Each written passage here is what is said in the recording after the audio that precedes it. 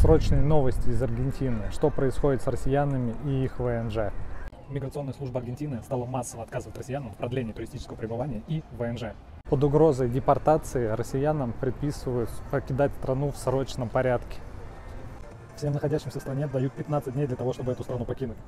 В очередной раз напомню вам, что не стоит верить всем новостям или, по крайней мере, не воспринимать их все буквально. Россиянам действительно стали отказывать в продлении нахождения в стране в срок более 90 дней. Раньше можно было прийти в миграционную службу, написать заявление и продляли этот срок еще на 90 дней.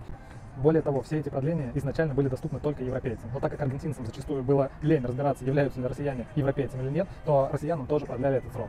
И на прошлой неделе все люди, которые пошли подавать на продление этого срока, или получать отказы и письмо, в котором нужно в течение 15 дней покинуть Аргентину. Все легальные и законные способы нахождения в стране и получения здесь ВНЖ как действовали, так и продолжают действовать, в том числе для россиян.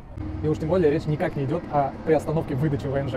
А вы верите всему, что публикуют в новостях или фильтруете?